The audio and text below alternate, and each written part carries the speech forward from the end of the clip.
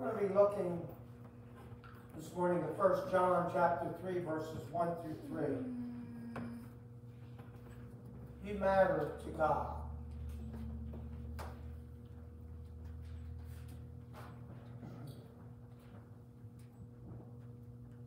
First John chapter 3, verse 1 through 3. It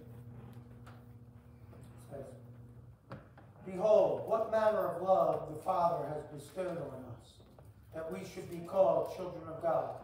Therefore, the world does not know us, because it did not know him. Beloved, now we are children of God. It is not yet revealed what we shall be, but we know that when he is revealed, we shall be like him, for we shall see him as he is. And everyone who has this hope in him purifies himself just as he is pure. Let us pray. Dear Heavenly Father, we thank you for your word, Lord God. Father God, I pray that you would fill each person in this room this morning with your Holy Spirit, that they will have a personal encounter with you, Lord God. Father, I pray that you would fill me with your Holy Spirit, and everything that I say and share comes from you.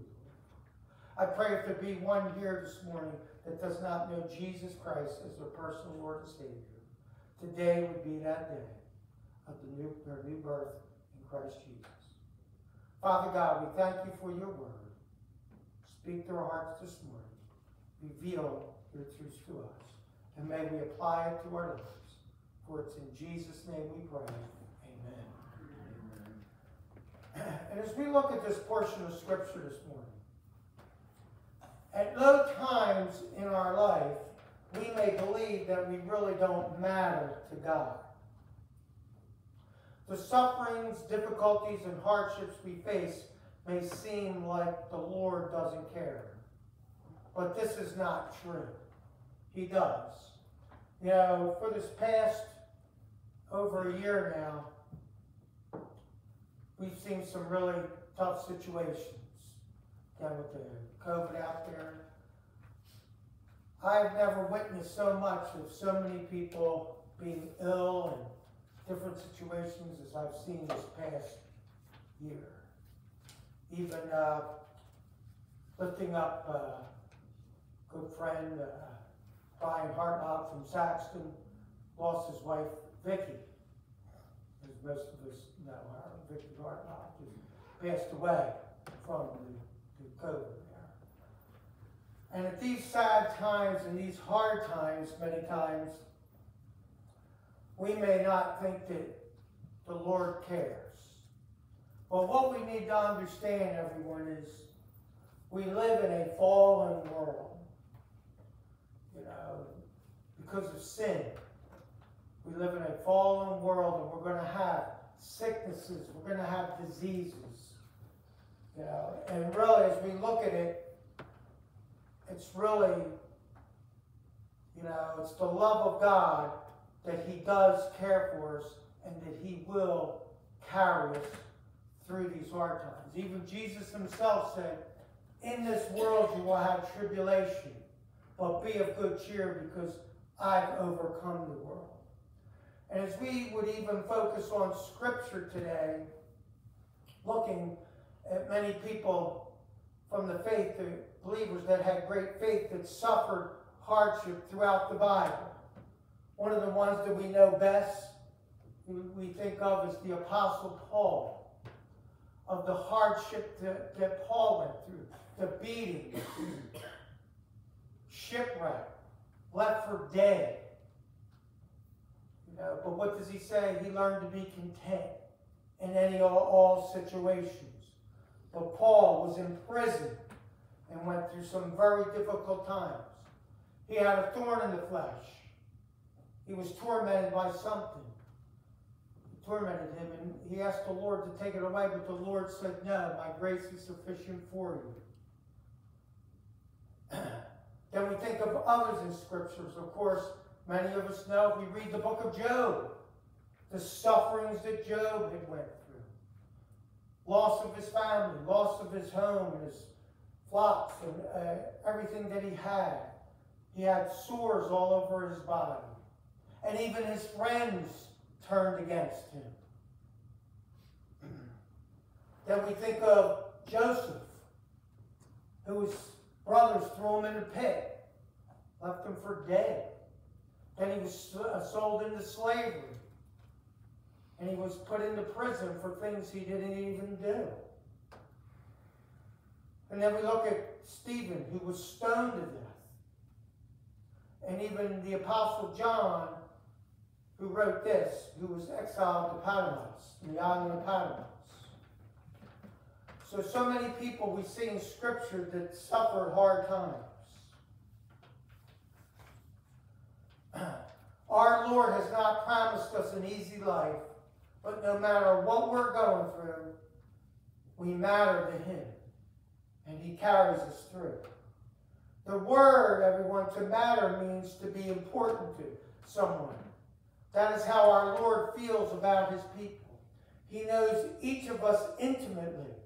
He knows our sinful failures, our weakness, but still loves us and values us.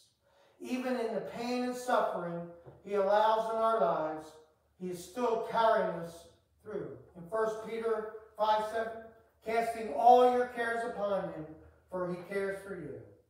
He promises never to leave you nor abandon you. But see, as I'm sharing this morning, as it even says in James, when you go through various trials, count it all joy. Why? Because it draws us closer in a relationship with Jesus Christ. And again, what we need to really understand, everyone, here on planet Earth is not our home. It's not our permanent home. It's a temporary dwelling place. And I know that many times that's hard for us to really understand that. See, we look at the uh, planet here as permanent. You know, and it's God's love that He shed upon us that even the lifespan has been shortened. That's love. That's love so that one day we can be in the place that He originally planned for us to go to be. but when sin entered the world, everything went chaos because of sin. So this is why we have sickness. This is why we have pain. This is why we have suffering. But what did Jesus say?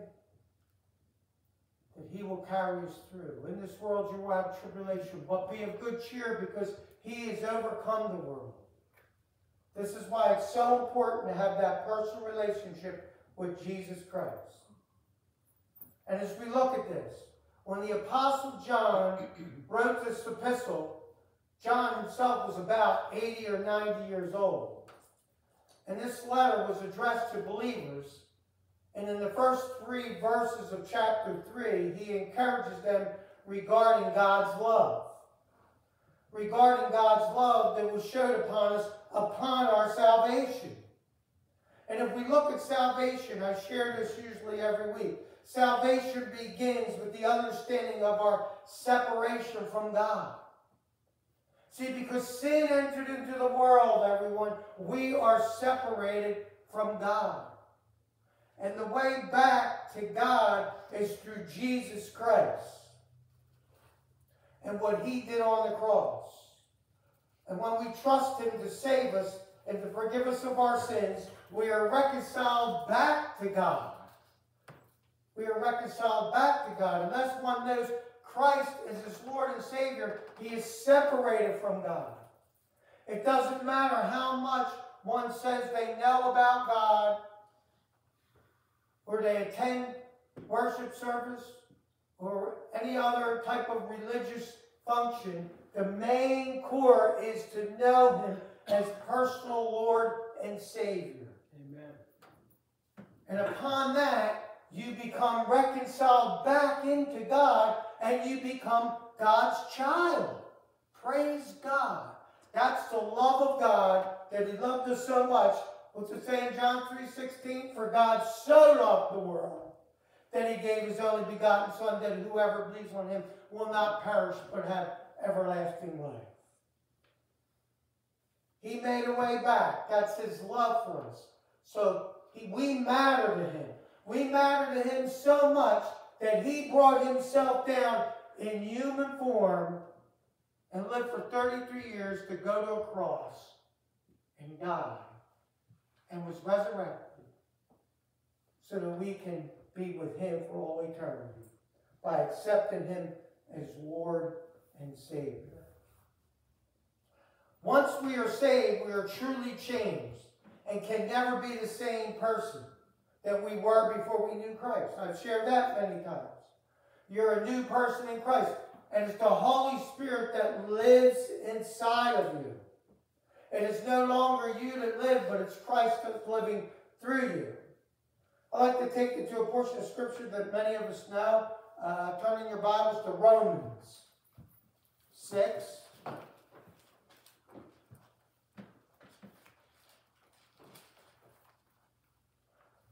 Reading 5 to 11. We've been going through this on Tuesday nights in our Bible study. Those who don't come out need to come out. I'm telling you, you really learn. says in Romans 6 5 to 11. For if we have been united together in the likeness of his death, certainly we shall be in the likeness of his resurrection. Praise God. Knowing this, that our old man was crucified with him, that the body of sin might be done away with, that we should no longer be slaves of sin. For he who has died has been freed from sin. Now, if we died with Christ, we believe that we shall also live with him, knowing that Christ has been raised from the dead, dies no more. Death no longer has dominion over him. For the death that he died, he died for sin once for all. But the life that he lives, he lives to God. Likewise, you also reckon yourselves to be dead indeed to sin, but alive to God in Christ Jesus our Lord. Praise God. We have a new life with him, and we are dead to sin. We have a we are a new person in Jesus Christ. That's why the cross reference to this is Galatians 2.20, which I share all the time. That Paul wrote that we Christ lives in us. I've been crucified with Christ. It's no longer I who live, but it's Christ that lives in us. And the life that we now live, we live by faith in the Son of God who died and gave himself for us. Praise God. It's His Holy Spirit that works in and through us. It's no longer us who live. It's Christ living in us. See, when you accept Jesus as your Lord and Savior, the old nature dies. It's the new nature. But we still will battle that old nature. That's why we need to be in the Word. As I always share, the one you feed upon the most is the one you become more like. You need to feed upon the Word. You need to be drawing closer in that love relationship with Jesus Christ. And as God's children, we need to be sensitive to sin and have a desire to read His Word and to live obediently godly, a godly lifestyle. And when we do commit sin, we get convicted of it, we can claim 1 John 1 9. If we confess our sins, he is faithful and just to forgive us of our sins and cleanse us from all unrighteousness. When we confess it, we are cleansed. Don't let the enemy play havoc on you. Once you confess your sin and give it to the Lord, it's gone from the east to the west. But the enemy will always try to bring it back. And if we continue in sin, then the Lord disciplines us because He is our Heavenly Father, and that's love. A loving parent disciplines his children, and God is our Heavenly Father. And when we don't follow in obedience, we get disciplined. Which leads me to my next point. Although God allows trials in our lives for a variety of reasons, sometimes He uses them to turn us back to Him in repentance. In other words, people, a wake up call. It's a wake up call, everyone. Many times, we're not walking with the Lord, we're walking in disobedience. say, well, what's walking in disobedience? It's not going to the Lord about things and decisions in your lives. It's deciding what you want to do on your own and how and when you want to do it. And see, our Lord wants to direct us and guide us.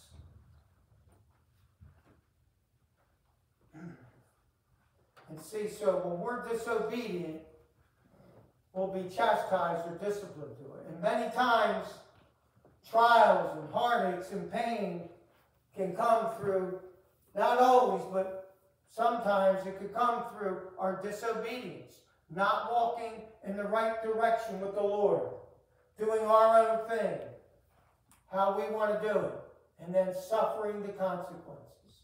And then after we fall, Lord, what happened? Well, first of all, did you go to the Lord about the decision or the situation that you were that was on your mind or your heart? We should always seek the Lord's counsel before we do mostly of anything in this world. The evidence of God's care for us.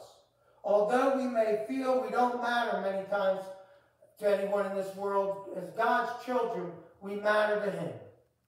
John gives us evidence that shows he cares for us. As we look at 1 John 3 1, behold, what manner of love the Father has bestowed on us. First of all, as I've been talking about, in salvation. God reached down into our lives through his word and opened our minds and hearts. In other words, it's the, it's the love of God through the power of his Holy Spirit that enabled you to understand you were a sinner and that you needed him. And he drives us into his word, as I have here Romans 10 17. Faith comes from hearing, and hearing from the word of God. And it's revealed to us of our sin nature. So God reached down through the power of the Holy Spirit and convicted you of that for you to even realize that you are a sinner and you need the Lord comes from Christ himself. Revealing that to you. Praise the Lord. That's love. That's his love. The Holy Spirit revealed in our hearts to come to Christ as Lord and Savior. The Holy Spirit. Praise the Lord. Next, evidence that God cares for you is his sanctification. When you accepted Christ as Lord and Savior, you were set apart. That's called sanctified. The Lord set us apart for himself so we can live for him. His Holy Spirit was revealed in our lives to give us understanding of, of his word so we can grow and we can walk and we can understand Scripture and we can become more like Christ. This is what sanctification is. This is why you need to be learning and studying the Word. You need to be studying it on your own. You need to have time privately with the Lord, reading His Word, meditating upon it, in prayer with Him, coming out to Bible studies. And again, I'll share this with you. As you learn and study, Ask the Lord to reveal himself who he wants you to disciple. You see? You know something? When you teach something, you're in it even more deeper because you want to know it well in order to be able to pass it on. Amen. As a congregation here, we are to learn the word and we are to disciple others.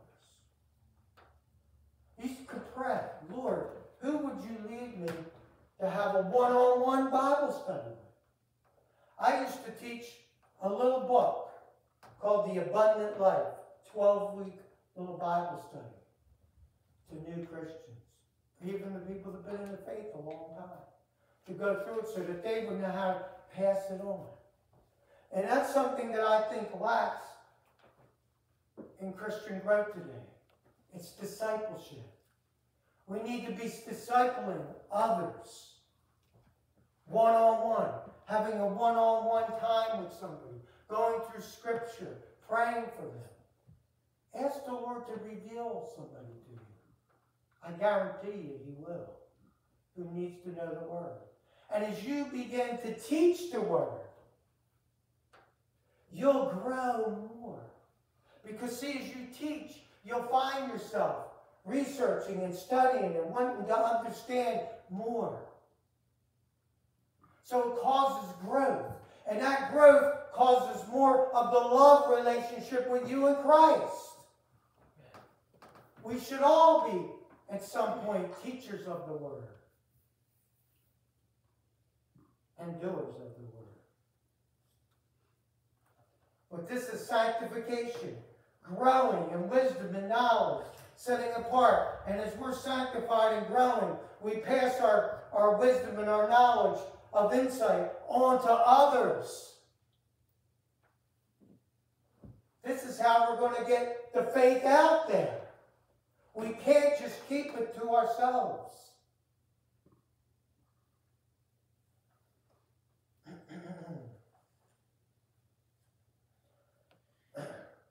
and as we study Scripture, we'll walk worthy of the calling that He's called us to. Through the power of the Holy Spirit, we will become transforming our lives into His image as we grow more in our walk with Him.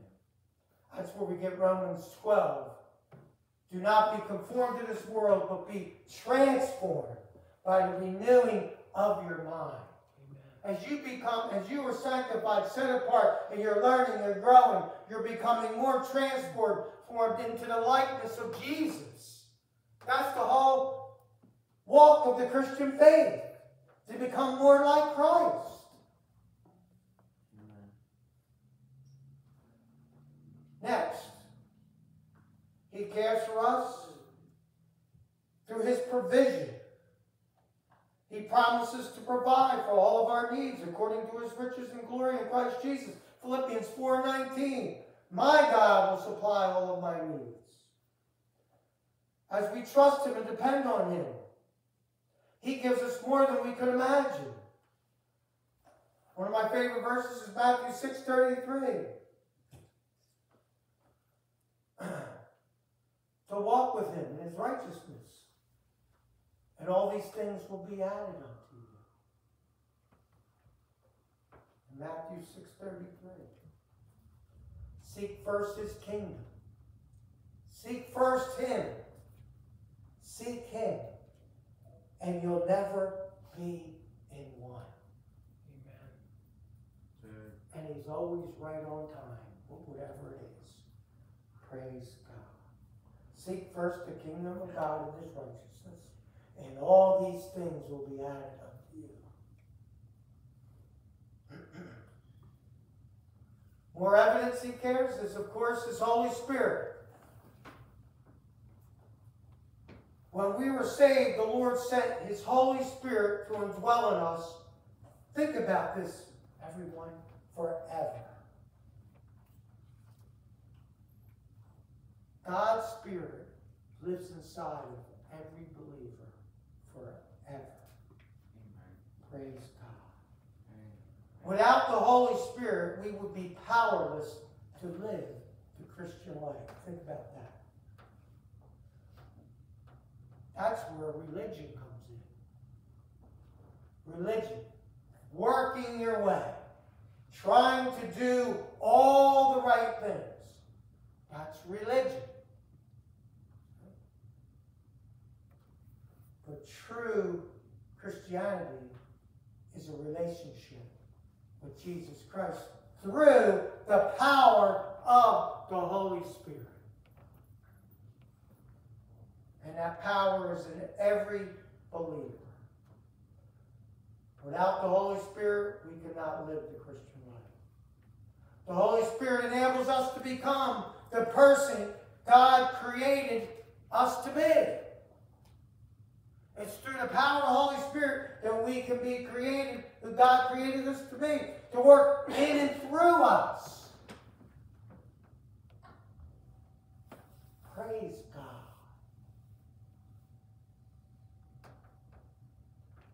Evidence now we are children of God.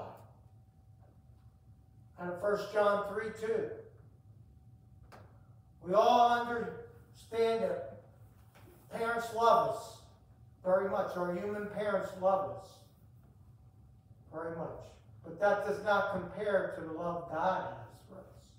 You know, Scripture says, Jesus said, You who are sinners know how to give good gifts to your children.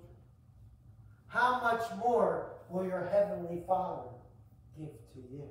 Amen. He loves you more than human parents even love the children. Praise God. He showers us with all spiritual blessings and promises that nothing can separate us from God. Turn in your Bibles, if you may, for a moment, back to Romans 8 35 to 39. Powerful scripture here. Who shall separate us from the love of Christ? Shall tribulation, or distresses, or persecution, or famine, or nakedness, or peril, or sword, as is written, For your sake we are killed all day long, we are counted as sheep for the slaughter. In other words, pain and suffering. Yet all these things we are more than conquerors through him who loves us. For I am persuaded that neither death nor life, nor angels, nor principality, nor powers, nor things present, nor things to come, nor height, nor depth, nor any other created thing shall be able to separate us from the love of God which is in Christ Jesus our Lord. Praise God. Hallelujah. Amen. Amen. Brothers and sisters here today, as we read the Word of God, it's exciting. It's exhilarating. This should be our focus. Not the struggles and the worries of this temporary world out there. That's right.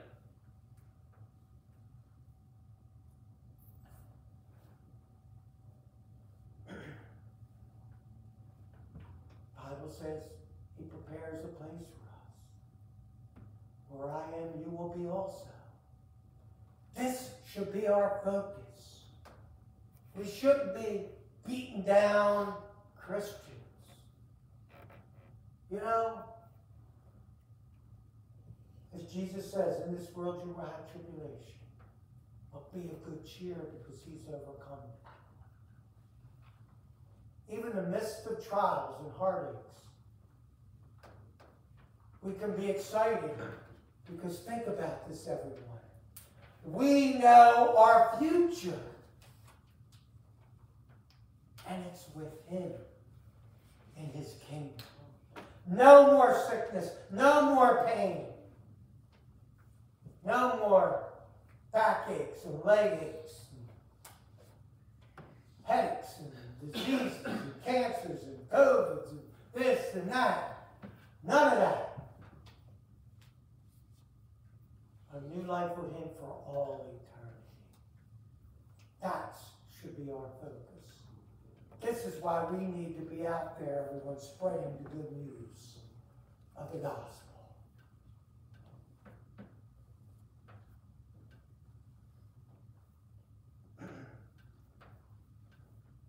First John 3 2 says, It has not been revealed what we shall be. As I'm sharing this morning, what we see now in our world and in our human condition is only temporary. If we look and focus on society, what happens, everyone? We become discouraged. Because it's worse now than it's ever been. And it's going to get worse. But be of good cheer because Christ says he's overcame it.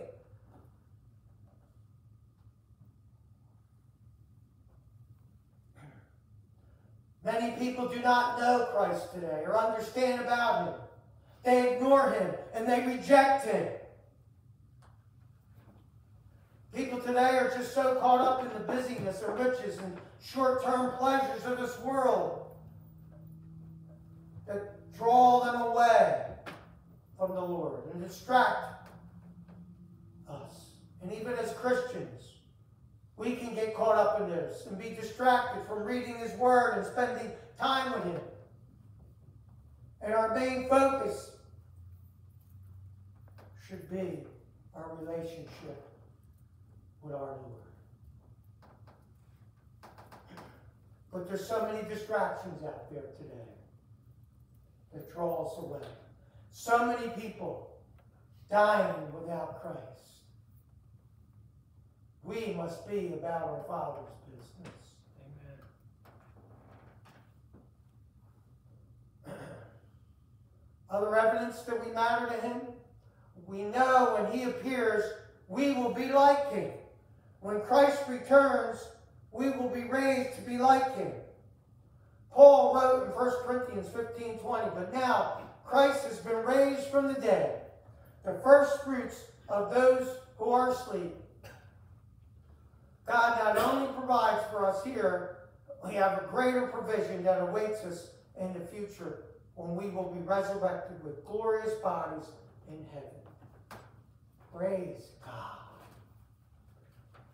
But see, this is the type of things we need to be focusing on.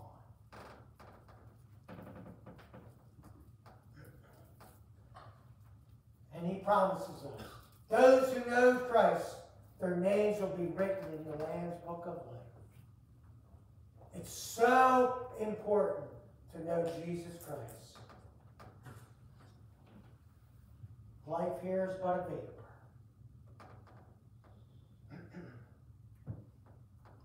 Our lives matter to God because God desires the best for us. He desires us to live pure and holy lives through the power of His Holy Spirit that lives inside of us. Praise God. Knowing our future should motivate us to, to obey God's word and to want to share His Word with others.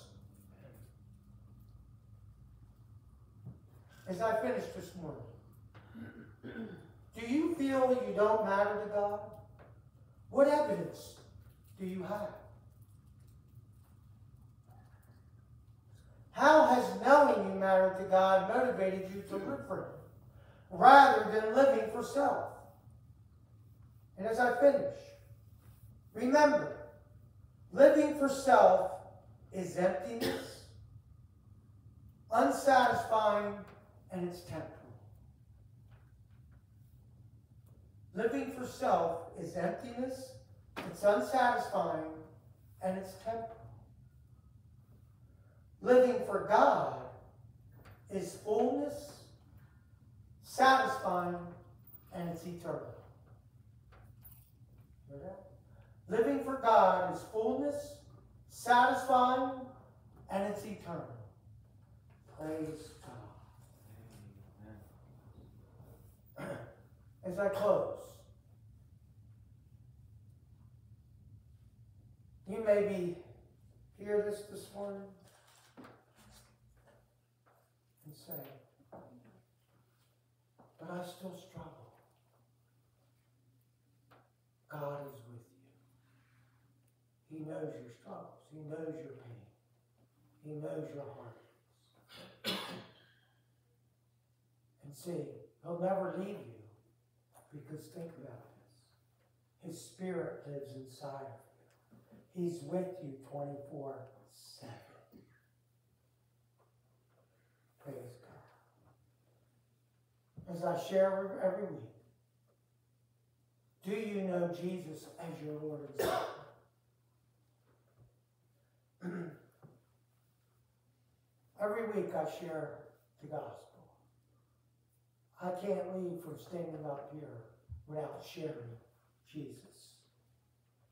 Because, see, sitting in a pew doesn't save If you're here today and you are saved, sitting and listening is a byproduct of your salvation to learning and growing in your walk with God.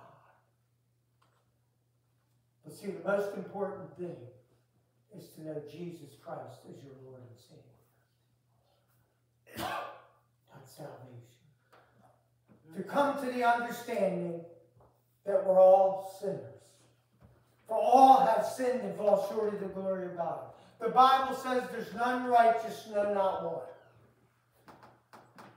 We're only righteous through the blood of Jesus Christ. You need to accept Him as your personal Lord and Savior. And what that is, is just, for example, Lord Father God, I know I am a sinner. Please forgive me of my sin. I realize that you died on the cross, you rose on the third day. Please come into my life. and may I live my life through you. That's salvation. And at that moment, the living God comes and lives inside. Praise God. Amen. And therefore, the Bible says you are a new creation in Christ Jesus. Amen. Let us pray. Dear Heavenly Father, I thank you for your word today, Lord God. Father God, thank you for revealing that you do care. You love us so much that we cannot even comprehend. And I pray, Father God, if there be one here today who does not know Jesus as their Lord and Savior, today would be that day of their new birth.